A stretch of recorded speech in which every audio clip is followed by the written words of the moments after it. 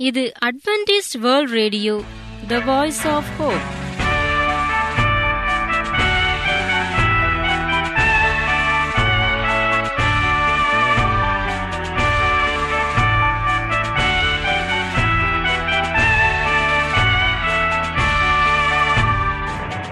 வணக்கம் வானொலி நேயர்களே.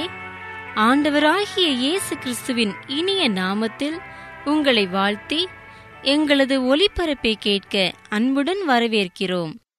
வாழ்க்கைக்கு வழிகாட்டும் எங்கள் ஒலிபரப்பில் இன்று இடம்பெறவிருக்கும் நிகழ்ச்சிகள். சிறுவர்களுக்கான கதை ஆன்மீக நலத்திற்கான தேவ செய்தி மற்றும் காதற்கினிய கீதங்கள். இன்றைய நிகழ்ச்சிகள் அனைத்தையும் கேட்டு பயனடைய அன்புடன் அழைக்கிறோம். குட்டீஸ் எல்லாம் கதை கேட்க ஆயத்தமா இருக்கீங்களா? அதுக்கு முன்னாடி ஒரு இனிய பாடல் உங்களுக்காகவே வந்துட்டு இருக்கு.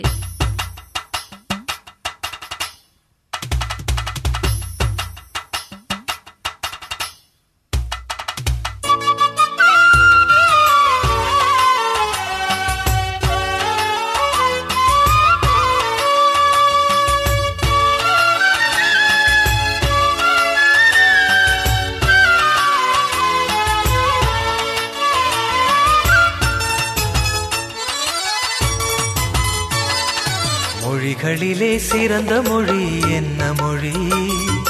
ஏசுராஜா பேசிய மௌன மொழி.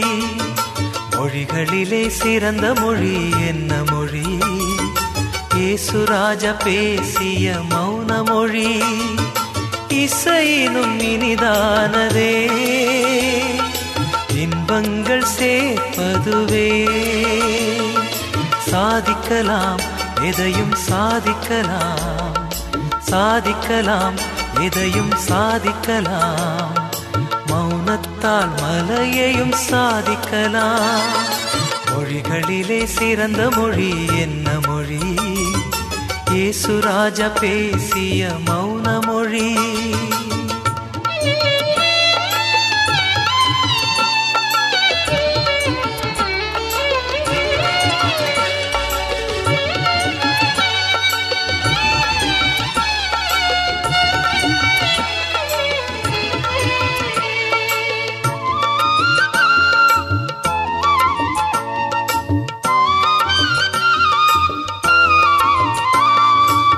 பேசும் திறன் இருந்தும் பயனற்ற சொல் எதும் பேசாது இருப்பது மௌனமாகும்.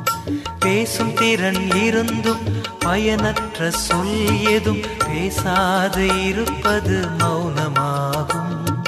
ஒரு கன்னம் அடித்தால் மறு கன்னம் காட்டுவது மௌனத்தில் சிறந்த மௌனமாகும்.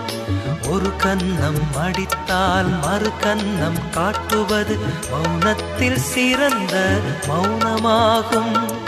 மொழிகளிலே சிறந்த மொழி என்ன மொழி? ஏசுராஜ பேசிய மௌன மொழி.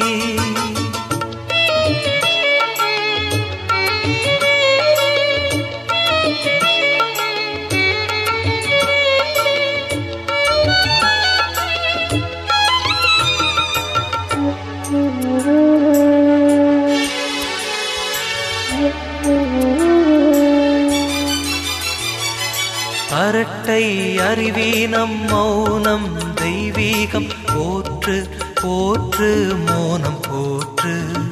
அரட்டை அறிவீனம் மௌனம் தெய்வீகம். போற்று போற்று மோனம் போற்று. பேசுவதால் விதைக்கிறோம் மௌனத்தால் அறுக்கிறோம். மௌனத்தின் முன்னே நிற்பவர் யார்? பேசுவதால் விதைக்கிறோம் மௌனத்தால் அறுக்கிறோம். மௌனத்தின் முன்னே நிற்பவர் யார்? மொழிகளிலே சிறந்த மொழி என்ன மொழி? ஏசுராஜா பேசிய மௌன மொழி.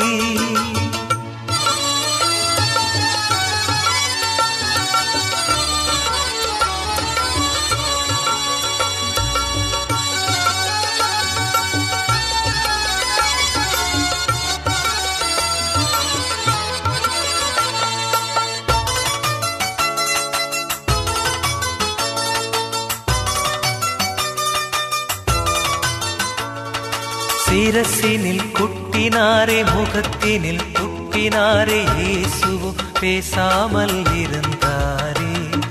சிரசினில் குட்டினாரே முகத்தினில் துப்பினாரே இயேசுவும் பேசாமல் இருந்தாரே. நாமும் அவர் போல தீமையை வெல்லணும் தீமையை அமைதியால் வென்றிடணும். நாமும் அவர் போல தீமையை வெல்லணும் தீமையை அமைதியால் வென்றிடணும். மொழிகளிலே சிறந்த மொழி என்ன மொழி? ஏசுராஜா பேசிய மௌன மொழி. மொழிகளிலே சிறந்த மொழி என்ன மொழி? ஏசுராஜா பேசிய மௌன மொழி. இசையினும் இனிதானதே. இன்பங்கள் சேர்ப்பதுவே. சாதிக்கலாம் எதையும் சாதிக்கலாம். சாதிக்கலாம் எதையும் சாதிக்கலாம். மௌனத்தால் மலையையும் சாதிக்கலாம். மொழிகளிலே சிறந்த மொழி என்ன மொழி? இயேசுராஜா பேசிய மௌன மொழி. பென் அர்னால்ட் இருவரும் சகோதரர்கள். பென் தன்னுடைய ஏழாவது வயதில் அப்பாவின் மூலம் ஆண்டவரை குறித்த ஒரு விஷயத்தை கற்றுக்கொண்டான். அது என்ன என்று பார்ப்போம். அப்பா இரண்டு பேருக்கும் ஒரு கட்டளை போட்டிருந்தார். சாயங்காலம் ஆறு மணிக்குள் எந்த வேலையா இருந்தாலும் இரண்டு பேரும் வீட்டிற்கு வந்தாக வேண்டும். பின்னர் வெளியே போகக்கூடாது. இதுதான் அந்த கட்டளை. பல முறை இரண்டு பேரும் இந்த கண்டிப்பை மறந்திருக்கிறார்கள். ஒரு நாள் அர்னால்ட் மணி ஆறு ஆகியும் வீட்டிற்கு வரவில்லை. அப்பா இரண்டு மணி நேரமாக காத்து கொண்டிருந்தார். நேரம் நன்றாக இருட்டிவிட்டது. சிறிது நேரம் கழித்து அர்னால்டு வீட்டிற்கு வந்தான். அவனுடைய முகம் வாடி போய் கவலையாய் இருந்தது மிகவும் பயந்து காணப்பட்டான். அப்பா இடி இடிப்பது போல முழங்கினார். ஏன் லேட்டாச்சு? எங்க போயிட்டு வர்ற? அவன் பயந்து நடுங்கி நின்றான். அடுத்த நொடியே அழுது விடுபவன் போல இருந்தான். அப்பா மறுபடியும் என்ன நடந்தது என்று ஒழுங்காக சொல்லு என்றார். அமைதியாக நின்றிருந்த அவன் கண்ணீர் ததும்ப கூறினான். ஸ்கூல் முடிஞ்சதுக்கப்புறம் என்னுடைய புது சைக்கிளை எடுத்து பக்கத்து தெருவில் ஓட்டத் தொடங்கினேன். அப்பா உடனே நம்ம தெருவை விட்டு வேறு எங்கேயும் போகக்கூடாதுன்னு சொல்லியிருக்கேன்ல? அர்னால்ட் தலையை தொங்க போட்டு கொண்டான் பிறகு மெதுவாக பேசத் தொடங்கினான். ஒருத்தர் என் சைக்கிளை பார்த்து நல்லா இருக்குன்னு சொன்னாரு. அவர்கிட்டயும் அதே மாதிரி சைக்கிள் இருக்குதான்.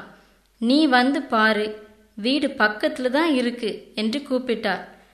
வீடு பக்கங்கிறதுனால நானும் அவர் பின்னாடி போனேன். அப்பா பெருமூச்சு விட்டு கொண்டார். அவர் உன்னை எங்கே அழைச்சிட்டு போனார்? அப்பா கேட்டார். அவர் என்னை வேறு ஒரு தெருவில் கூட்டிட்டு போனார். எனக்கு அது தெரியாது. அப்புறம் கூட்டமான மார்க்கெட் வழியாய் போனார். திடீரென்று அவரை காணோம். எனக்கும் அங்கிருந்து எப்படி வருவது என்று தெரியவில்லை என்றான். அப்பா அமைதியான குரலில் கேட்டார். சரி உன்னுடைய சைக்கிள் எங்கே? அர்னால்ட் அழுது கொண்டே மிகவும் சிரமப்பட்டு பேசினான். அந்த ஆள் மார்க்கெட்டில் கூட்டம் அதிகமாயிருக்கு. நீ ஓட்டுவது கஷ்டம். நான் உனக்கு உதவி செய்கிறேன் என்று சொல்லி சைக்கிளை வாங்கினார். இப்ப என்கிட்ட சைக்கிள் இல்லை என்று சொல்லிக்கொண்டே அழுதான். இவர்கள் இரண்டு பேரும் பேசிக்கொள்வதை பார்த்து கொண்டிருந்த பென் தலையை ஆட்டிக்கொண்டே உனக்கு வேணும் இது. அப்பா உனக்கு நல்லாவே தருவார் என்று தனக்குத்தானே பேசிக்கொண்டான் ஆனால் நடந்தது என்ன? பென்னும் அர்னால்டும் மிகவும் ஆச்சரியப்படும் வகையில் அப்பா அர்னால்ட் பக்கத்தில் வந்து அவனை அன்போடு கரங்களில் ஏந்தி கொண்டார். மகனே நீ பத்திரமா வீட்டுக்கு வந்து சேர்ந்ததே எனக்கு சந்தோஷம். சைக்கிள் பற்றி கவலைப்படாதே. நீ நல்லபடியாக வீட்டுக்கு வந்தது எனக்கு போதும் என்று கூறினார். சங்கீதம் நூற்றி மூன்று பதிமூன்றாம் வசனத்தில் நாம் வாசிக்கிறோம் தகப்பன் தன் பிள்ளைகளுக்கு இறங்குகிறது போல கர்த்தர் தமக்கு பயந்தவர்களுக்கு இறங்குகிறார். நாம் எல்லாரும் ஆண்டவரின் பிள்ளைகள். அவர் நம்மீது மிகுந்த அன்பு வைத்திருக்கிறார். நாம் எவ்வளவுதான் தவறு செய்திருந்தாலும் அவர் நம்மீது வைத்திருக்கும் அன்பு மாறாதது. எனவே கர்த்தருக்கு பயந்து அவருக்கு கீழ்ப்படிவோம். எல்லாருக்கும் கதை பிடிச்சிருக்கும்னு நம்புறேன். கதையில சொல்லப்பட்ட நல்ல கருத்தை கேட்டு அதன்படி நடங்க. கர்த்தர் நிச்சயமா உங்களை ஆசிர்வதிப்பார். கதை சொன்ன சகோதரிக்கு நன்றி தெரிவித்துக் கொள்கிறேன். நீங்கள் அட்வென்டிஸ்ட் வேர்ல்ட் ரேடியோவின் ஒலிபரப்பை கேட்டுக்கொண்டிருக்கிறீர்கள் எங்களுடைய முகவரி அட்வென்டிஸ்ட் வேர்ல்ட் ரேடியோ தபால் பெட்டி எண் பதினேழு புனே நான்கு ஒன்று ஒன்று பூஜ்ஜியம் பூஜ்ஜியம் ஒன்று மகாராஷ்டிரா இந்தியா. இப்போதும் நாம் வேதத்தை தியானிக்கும் நேரத்திற்குள்ளாக வந்திருக்கிறோம். இன்றைய தேவ செய்தியை போதகர் பிராங்க்லின் அவர்கள் நமக்கு வழங்குவார். தேவ ஆலோசனையை கேட்பதற்கு முன்பு ஒரு இனிய பாடலை கேட்டு மகிழுங்கள்.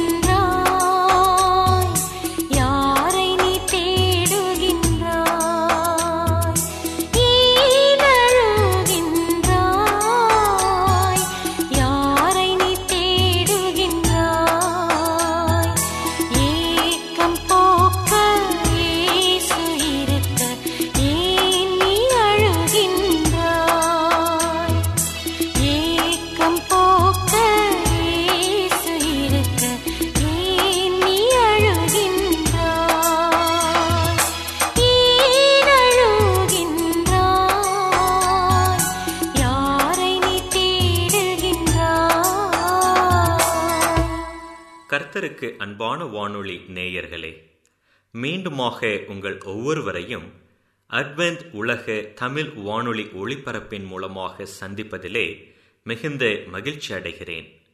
இந்த ஒளிபரப்பை கேட்டுக்கொண்டிருக்கும் உங்கள் ஒவ்வொருவரையும் கர்த்தர் தாமே ஆசீர்வதிப்பாராக.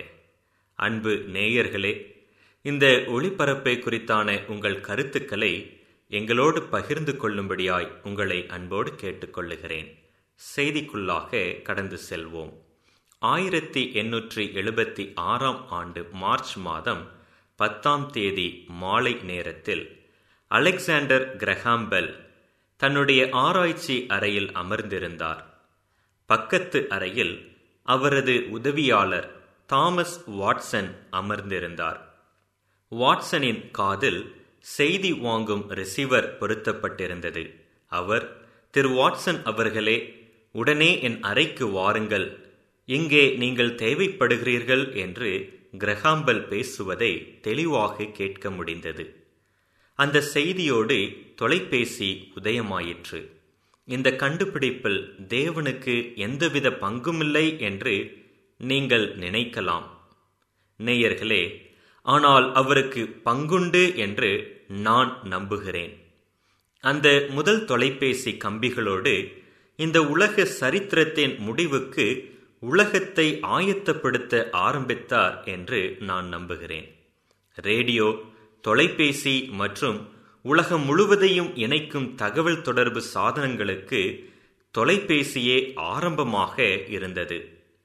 இந்த கடைசி காலங்களில் தேவன் செய்யும் எந்த காரியமும் ரகசியமாக இருக்காது. ஏனென்றால் உலகின் ஒரு பகுதியில் நடக்கும் காரியங்கள் அந்த வேளையிலேயே உலகில் மறுபகுதிக்கு தெரிந்துவிடுகிறது. இவையாவும் தேவனுடைய திட்டமே என்பது தெரிகிறது. அவர் தானியேலே நீயோ வென்றால் முடிவு காலம் மட்டும் இந்த வார்த்தைகளை புதைப்பொருளாக வைத்திருந்து இந்த புஸ்தகத்தை முத்திரை போடு. அப்பொழுது அநேகர் அங்கும் இங்கும் ஓடி ஆராய்வார்கள். அறிவும் பெருகிப்போம் என்று தானியேல் தீர்க்கதரிசியிடம் தேவன் கூறினார். அங்கும் இங்கும் ஓடுவார்கள் பிரயாணத்தில் வேகம் தகவல் தொடர்புகளில் வேகம். செயற்கைக்கோள்களின் மூலம் உலகம் முழுவதையும் இணைக்க முடியும் என்பது இனியும் கனவு அல்ல. ஆகாயத்தில் போக்குவரத்து நெரிசல் தற்காலத்தில் நிகழும் நிகழ்ச்சியாகிவிட்டது. விண்வெளி பயணங்களும் அன்றாட நிகழ்ச்சியாகிவிட்டது. அறிவு பெருகிப்போம். கடந்த நூறு ஆண்டுகளில் ஏராளமான கண்டுபிடிப்புகள் நிகழ்ந்துள்ளன. இவைகள் இன்றும் நிகழ்ந்து கொண்டே போகின்றன. இவைகளுக்கு முடிவில்லை. சிந்தனை கடங்காத பெரிய காரியங்கள் இன்றும் நிலுவையில் உள்ளன. நாம் காணும் அறிவு பெருக்கம் இந்த பூமியின் சரித்திரத்தின் கடைசி நாட்களில் நாம் வாழ்கிறோம் என்பதற்கு அடையாளம் என்று தேவன் கூறுகிறார். தேவன் முன்னுரைத்தார் அது நிறைவேறுகிறது. இந்த அறிவு பெருக்கத்தை சரித்திரத்தின் முற்காலங்களில் தேவன் ஏன் அனுமதிக்கவில்லை? ஆப்ரஹாமின் காலத்திலும் ரோம பேரரசர்களின் காலத்திலும் மார்ட்டின் லூத்தரின் காலத்திலும் தேவன் ஏன் அனுமதிக்கவில்லை? அதற்கு காரணம் உண்டு. அறிவு பெருக்கம் பாவம் நிறைந்த மனிதனின் கரத்தில் எவ்வளவு ஆபத்தானது என்பதை தேவன் அறிவார். அறிவை வைத்துக்கொண்டு மனிதன் என்ன செய்வான் என்பதை தேவன் அறிந்திருக்கிறார். இந்த உலகின் முடிவை தேவன் கொண்டு வரும் நேரத்தில் மட்டுமே அறிவு பெருக்கத்தை மனிதனுக்கு கொடுக்க தேவன் சித்தமுள்ளவராய் இருக்கிறார். பல காரணங்களின் அடிப்படையில் கிறிஸ்து சீக்கிரமாக வரப்போகிறார் என்று பல வருடங்களாக நாம் சொல்லி வருகிறோம். அணுகுண்டை தன் கரத்தில் வைத்து விடையாயும் தேவனுக்கே உரிய ரகசியங்களை மனிதன் பெற்றுக்கொள்ளவும் முயற்சிப்பதை தேவன் நீண்ட காலம் அனுமதிக்கவே மாட்டார்.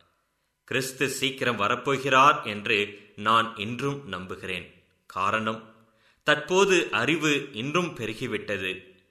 ஜீவனின் ரகசியத்தையும் அறிந்து கொள்ள மனிதன் முயற்சிக்கிறான். ஆம் மனிதன் சிருஷ்டியாக இருப்பதற்கு பதிலாக சிருஷ்டிகராக இருக்க விரும்புகிறான். தேவன் தனக்கு மட்டுமே வைத்திருந்த ஜீவ ரகசியங்களை எப்படியும் அறிந்து கொள்ள விரும்புகிறான். அறியாமையின் அடிப்படையிலானாலும் சரி தேவனாக தன்னை உயர்த்த விரும்பி செயல்படுகிறான். அணு ரகசியங்களையே சரியான முறையில் கையாளத் தெரியாத மனிதன் ஜீவ ரகசியங்களை சரியான முறையில் கையாளத் தெரியாது என்பது மிகவும் உண்மை. நோவாவின் காலத்தில் தேவன் ஒரு முறை மனித சரித்திரத்தில் இடைப்பட்டதை நாம் அறிவோம். மனிதனுடைய அகந்தை கட்டுப்படுத்தப்பட முடியாமல் அக்காலத்தில் இருந்தது. மனிதனின் அறிவு பெருகிவிட்டால் என்ன நடக்கும் என்பதை தேவன் நன்றாக அறிந்திருக்கிறார். அந்நாட்களில் எட்டு பேரை தவிர மற்ற எல்லாரையும் அழிக்க வேண்டியது அவசியம் என்று தேவன் கண்டார். அழிக்கப்பட்ட அந்த தலைமுறையை குறித்து வேதம் அதிகமாக சொல்லவில்லை. மனுஷனுடைய அக்கிரமம் பூமியிலே பெருகினது என்றும் அவன் இருதயத்து நினைவுகளின் தோற்றமெல்லாம் நித்தமும் பொல்லாததே என்றும் தேவன் கண்டார் என்று மட்டுமே கூறப்பட்டுள்ளது. பூமியை கெடுத்தவர்கள் கெடுக்கப்படுவார்கள் என்று தேவன் வெளிப்படுத்தின புத்தகத்தில் கூறுகிறார்.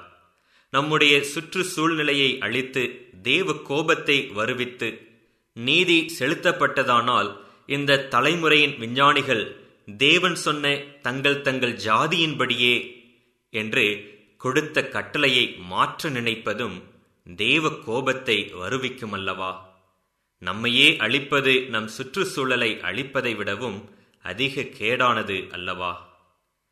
தீர்க்கனாகிய யோவான் தரிசனத்தில் கண்ட ஒரு காரியம் ஜாதிகள் கோபித்தார்கள். ஆம் பிரியமானவர்களே இவை யாவும் கிறிஸ்துவின் இரண்டாம் வருகைக்கு அடையாளம் மட்டுமல்ல அவருடைய வருகை தவிர்க்க முடியாத காரியம் என்று நமக்கு அறிவிக்கும் காரியங்கள். மேலும் கிறிஸ்து அக்கிரமம் மிகுதியாவதினால் அநேகருடைய அன்பு தணிந்து போம் என்று கூறினார். இதுவும் தற்போது நிகழ்ந்து வருகிறது. அக்கிரமம் உண்மையாகவே மிகுதியாகிவிட்டது. தேவனுடைய சிங்காசனத்தை நெருங்கி சேர்வதற்கான பாதை இப்போது திறந்தே இருக்கிறது. மனந்திரும்பி தேவனே பாவியாகி என்மேல் கிருபையாயிரும் என்று சொல்லுகிற எந்த மனிதனும் அந்த பாதையிலே செல்லலாம்.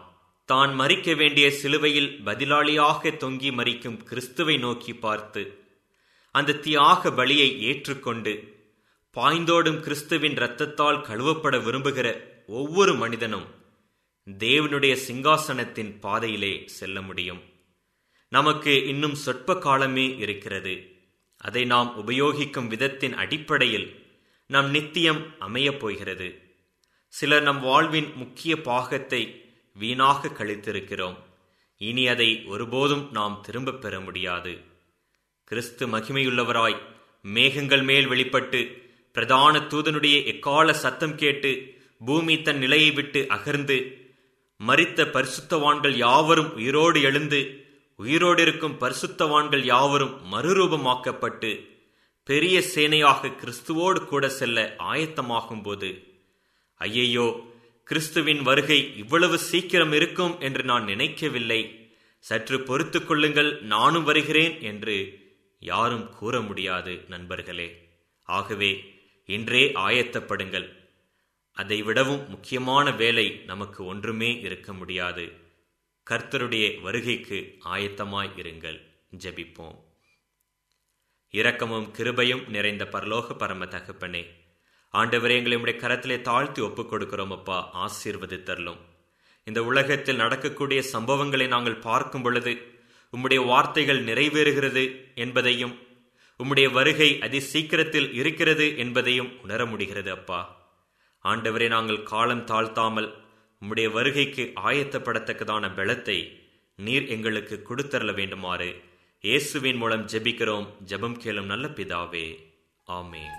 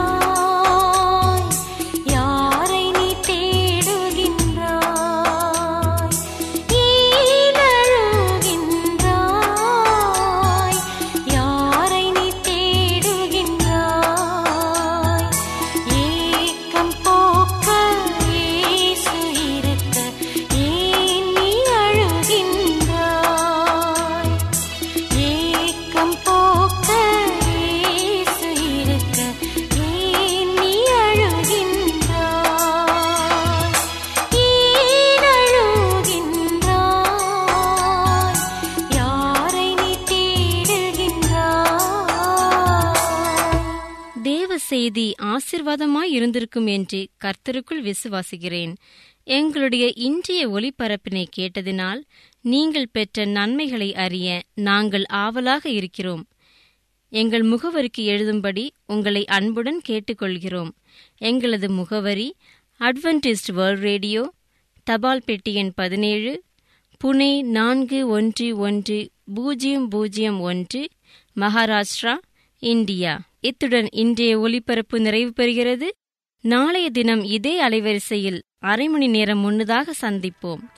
கர்த்தர் தம்முடைய முகத்தை உங்கள் மேல் பிரசன்னமாக்கி உங்களுக்கு சமாதானம் கட்டளையிட கடவர்.